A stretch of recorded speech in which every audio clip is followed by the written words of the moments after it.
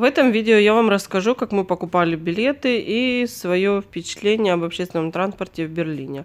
Купили мы билеты трехдневные, 72 часа.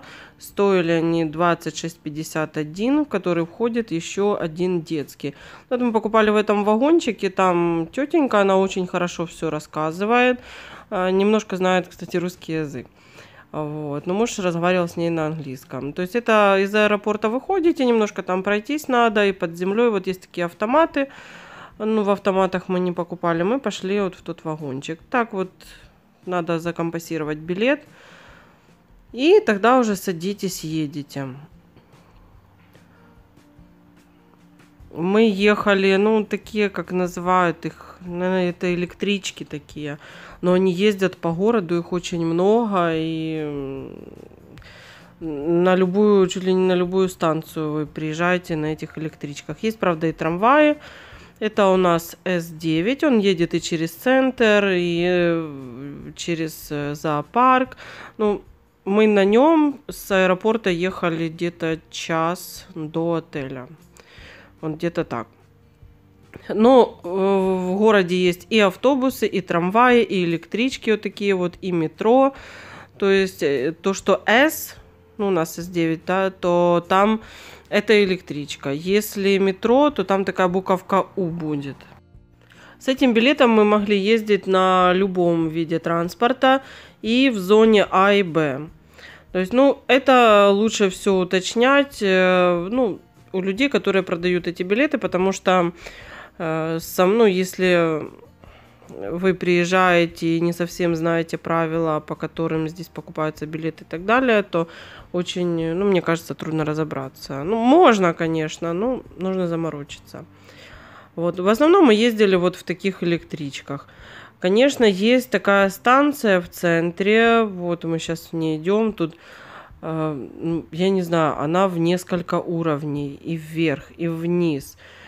И если вот вы приехали в одном э, на эту станцию, на, например, вам нужно пересесть э, с одного поезда на другой, э, и вы идете по этим стрелочкам. Ну, я не знаю, это у меня просто муж, он очень хорошо ориентируется по местности.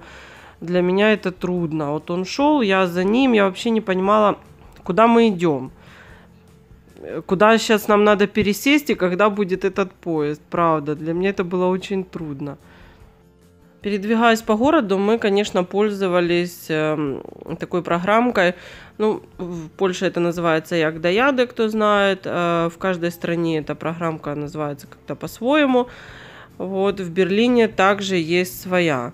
Вот. Ну и по ней, конечно, мы ездили. Ну, без пересадки практически там невозможно никуда приехать. Ну, у нас только от отеля в центр мы без пересадки ехали. А так, если надо, там э, мы ездили к Берлинской стене одной и к мемориалу Берлинской стены. И там в какой-то ресторан, еще куда-то. Мы постоянно, мы делали там даже одну станцию проехать, одну остановку, но мы э, пользовались вот таким вот транспортом. Правда, на автобусе, трамвае мы ни разу не ездили. Ну, удобнее всего нам было вот так вот. И, кстати, да, вот эта остановка Фридрихштрассе самая, такая она в центре находится. То есть, и она очень большая. Ну, не знаю, мне было, конечно, очень все запутано, хотя муж сказал, что это очень удобно, когда есть много вариантов, чтобы пересесть на какой-то другой вид транспорта, что не нужно долго там чего-то ждать. Ну, опять же, вот этот S какой-то там номер. Но мы, правда, еще прокатнулись и в метро. Ну, это все вагоны такие же. А это метро. И это поезд именно, который ездит в метро. Они такие там.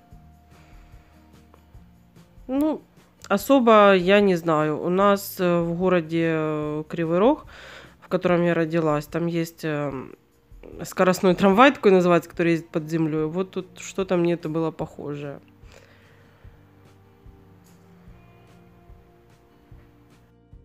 Программка, которой мы пользовались для передвижения по городу, я обязательно оставлю в инфобоксе.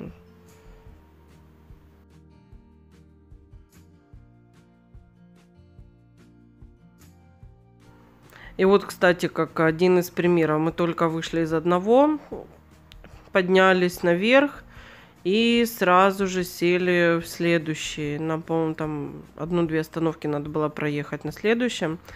Вот, ну, так вот пересели.